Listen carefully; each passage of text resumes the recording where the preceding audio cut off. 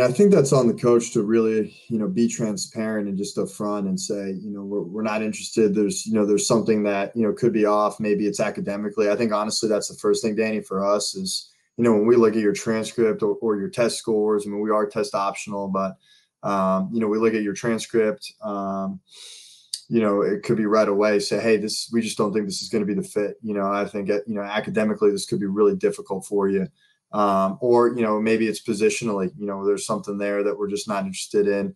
And then you know sometimes down the road it could be character fit. You know they're just not the right guys you know for the program. You know for us you know we're really tasked with rebuilding a program. You know we need guys who who love the work and want to embrace the chase and that's not for everyone. And you know we have to do some serious vetting on our end as a coaching staff. Um, and those are you know difficult conversations to have. I think you know sometimes coaches can get just you know, we get so many emails. Um, I think it's hard to get back to everyone. I think, you know, naturally we're gonna, you know, there's there's some guys that we're gonna reach back to, and there, and there's some that are not. And I think, you know, unfortunately, that could be a way too that you know a coach can kind of let you know that they're not super interested.